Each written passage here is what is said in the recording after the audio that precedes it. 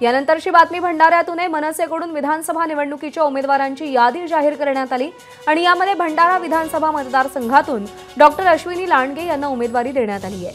त्यामुळे आता कार्यकर्त्यांमध्ये उत्साहाचं वातावरण पाहायला मिळतंय. एबीपी माझा. उघडा डोळे बघा नीट.